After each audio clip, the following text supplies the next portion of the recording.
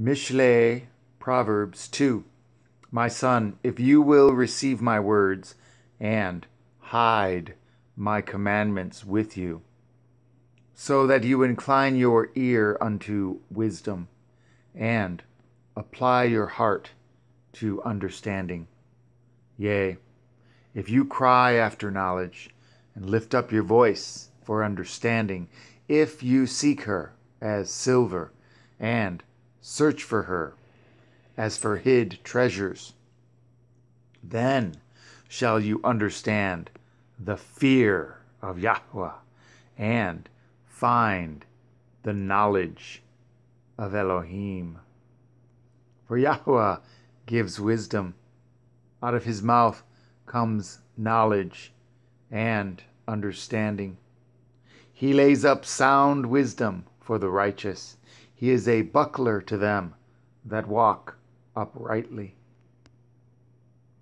He keeps the paths of judgment and guards the way of his chachid.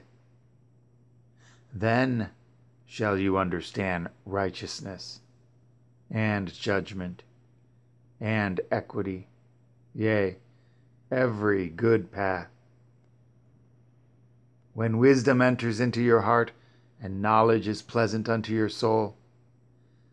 Discretion shall guard you, understanding shall keep you, to deliver you from the way of the evil man, from the man that speaks froward things,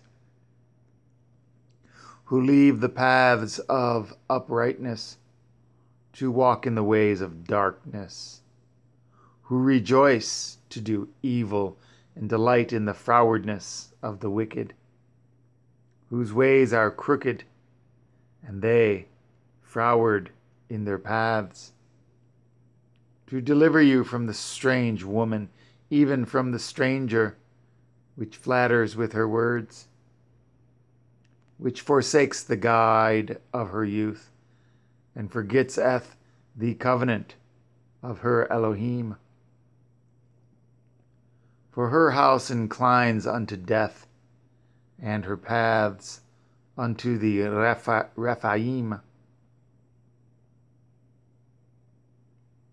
None that go unto her return again, neither take they hold of the paths of life, that you may walk in the way of good men, and guard the paths of the righteous.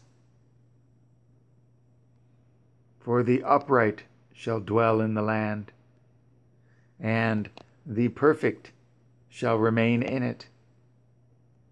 But the wicked shall be cut off from the earth, and the transgressors shall be rooted out of it.